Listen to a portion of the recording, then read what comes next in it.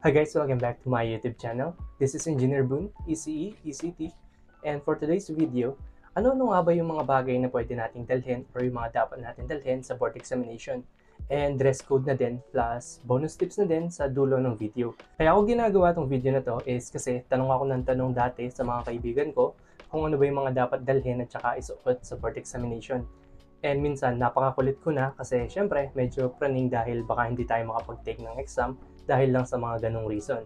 And wala akong makita dati na video, kaya eto, ginagawan ko na lang para di na kayo mahirapan and baka makatulong sa inyo. So watch till the end para iwas tanong sa comment section na din and subscribe ka na din kung naniniwala ka, napapasa ka at magiging engineer ka. So tara! So ano-ano nga ba yung mga things to bring sa board examination? pagsamahin natin yung mga mandatory at saka yung mga optional. Explain ko na lang din along the way kung para saan yung mga yon. Una and most important is yung ating NOAA, yung original copy na binigay ng PRC for ECE and ECT kung magte-take kayo ng parehas. Kapag wala ka kasi nito, hindi ka makakapag-take. And also, after exam, pipirmahan to ng proctor sa may ilalim na part ng NOAA. Yung part na may signature, proof na din na nakapag-take ka talaga. Also, huwag kalimutan yung room assignments Siyempre, ipopost naman ng PRC sa Facebook page nila or sa official website ng PRC yung details. So, abang-abang na lang ng announcements mga few weeks or days before the exam.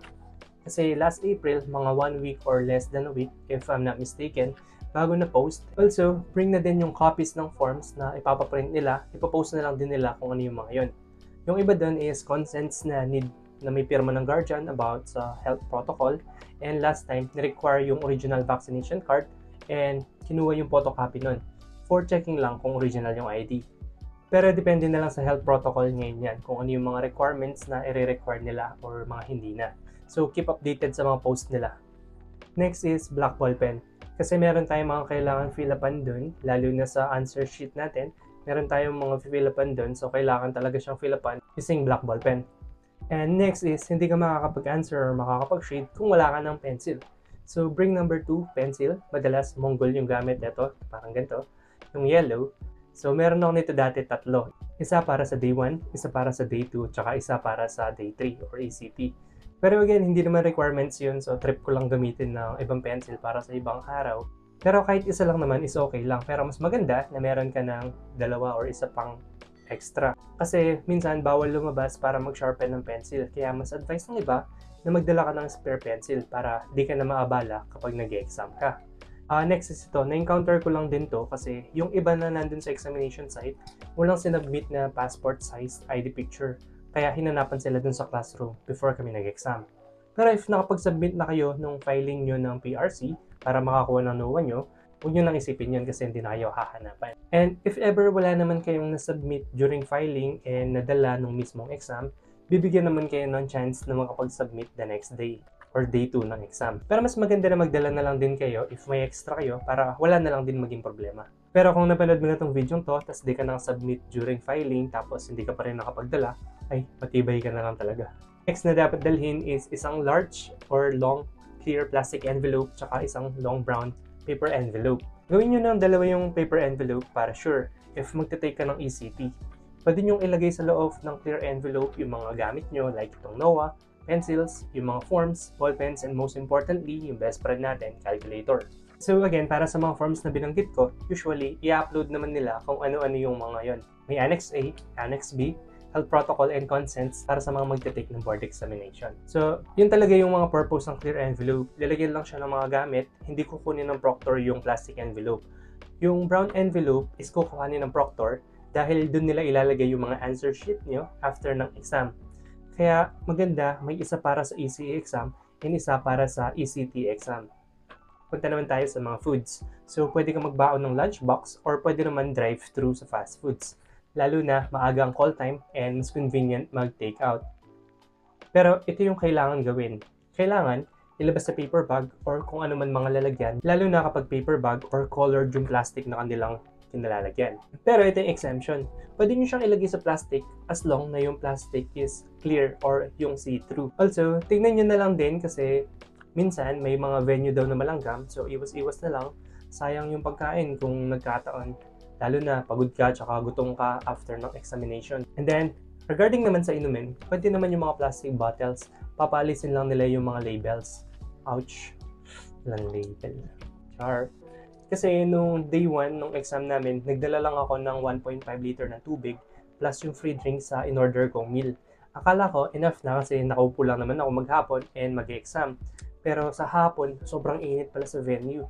Kahit madaming electric fan, is mainit yung buga ng hangin. Kaya mahirap mag-concentrate. Disclaimer, um, hindi ko nilalahat yung mga venues. Sadyang sa room namin mainit kapag hapon. And hindi kasi naka-aircon, so kulang na kulang pala yung 1.5 liter ng tubig. So next day, ginawa ko is dalawa na. Dalawang 1.5 na. So, ayun, sumakto naman. Lalo na dapat hydrated ka during exam para mas makapag-isip ka ng maayos. Kaso, ayun nga, dapat ubusin agad kasi umiinit talaga kapag hapon na. Next is yung mga snack. Nagdala ako ng mga almonds sa maliliit na garapon. Pwede yun as long na clear yung pinaglalagyan nila. Yan. Kasi niregaluhan ako ng kuya ko habang nagre-review ng malaking almonds. So yan, napakadaming laman. So nakapagbaon pa ako during exam. Again, clear dapat yung lalagyan. Huwag yung nakabox kasi bawal yun. Salin nyo na lang siya sa clear na container para walang maging problema.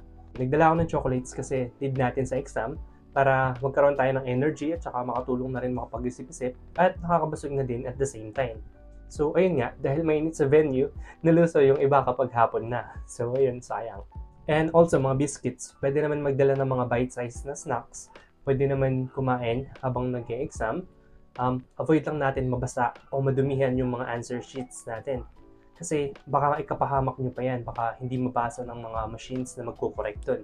So, ingat sa pag-inom at saka pagkain during exam. So, ayan, no? Ang dami mo nang natututunan pero hindi ka pa rin nakakapag-subscribe. So, baka naman, click lang dito. Punta naman tayo sa next, which is dress code. So, mandatory, dapat naka-polo shirt tayo na white. Tapos, yung pants, pwede naman yung slacks, parang pang uniform ng lalaki. Pwede na naman jeans. Last time, parang pwede naman any color. Huwag lang yung ripped or yung tattered jeans or yung mga butas-butas. Tasmatic, nakatuck-in dapat yan. Eh, ako naman kasi medyo takot, pero yun, para safe na rin, black or dark blue na lang. Again, i-confirm nyo na lang sa mga kakilala nyo na nag-take dun sa same venue para 100% sure na pwede. Sa shoes naman, pwede naman yung leather, pwede yung running or any shoes, basta closed shoes. Ako, nung unang araw, gamit ko is black running shoes, tapos nung nalaman ko na pwede naman pala yung white shoes, nag-white shoes na lang ako sa mga sumunod na araw kasi comfortable mag-commute pa uwi uh, huwag kayong magkocrocs ha, or yung mga sleepers tas naka-medyas lang, ay nako, wag. Wag. Sayang yung chance. And last, dapat naka-face mask. So, bonus tips na rin pala na nakatulong sa akin to calm myself and clear, control my thoughts. So, ginawa ko is kapag nasa examination room ka na at tapos na yung mga dapat fill upan, yung mga orientations, kung paano mag-shade and such, and waiting na lang para sa distribution ng questionnaires, ang ginagawa ko bago mag-exam is nagdi-deep breathing exercise ako. Simple lang naman, parang inhale, and then hold nyo lang, tapos exhale nyo slowly. Yan, mga for 10 to 15 minutes, ganun lang habang nakatulala ako sa kung saan saan man. Focus lang sa breath and nakakakalma to and relax ng isip based on my experience and nako-condition na yung isip ko kahit papano. And dapat hindi ka gutom kakain ako ng almonds mga 4 to 5 pieces agad and then inom ng enough water para magka-oxygen and ma-hydrate yung brain ko. Tapos, kapag naiihina ako, i-hold ko muna hanggang sasabihin ng proctor na mag-CR na yung mga gusto mag-CR bago mag-start. So, doon ako iihi para alam ko during exam, hindi na ako may istorbo. Pero pwede naman umihi while ongoing yung exam, sasamahan ka ng proctor or kung sino man. So, ganun lang yung palagi kong ginagawa before mag-exam. Kung napanood nyo na tong video kong to, may idadagdag lang ako.